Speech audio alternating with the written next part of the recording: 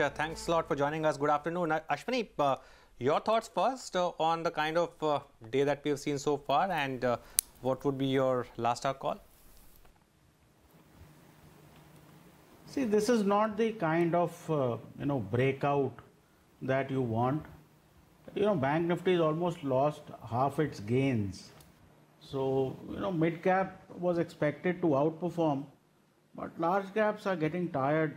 You know, around uh, 10,000, uh, 850 thereabouts. So overall, uh, broader market uh, seems like uh, there is good short covering there, but large caps I think still need more leadership. So still individual stocks, I don't think this qualifies as a huge breakout or great amounts of money has flown in. But uh, yes, people are back to their uh, mid caps buying and several good mid caps are bottoming out, particularly cement and you know pharma space. So that way, uh, I think this year will remain sideways. We can all keep trying to uh, think that there'll be a breakout, but uh, seems unlikely.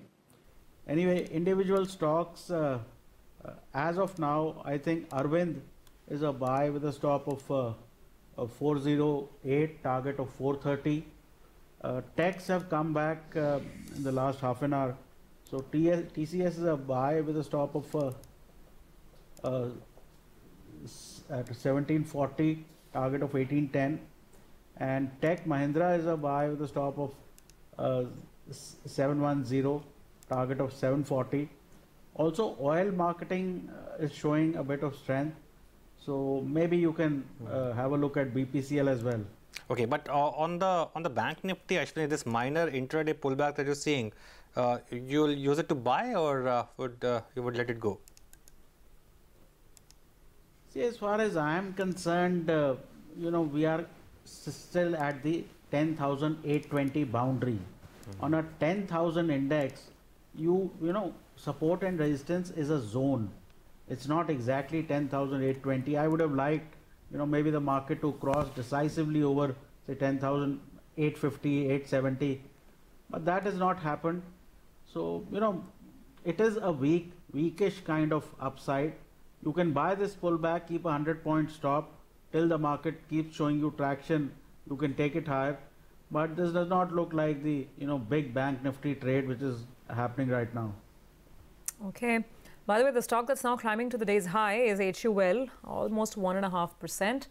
Big boy on the move there. It's actually countering the slight uh, sluggishness that is setting in on Reliance.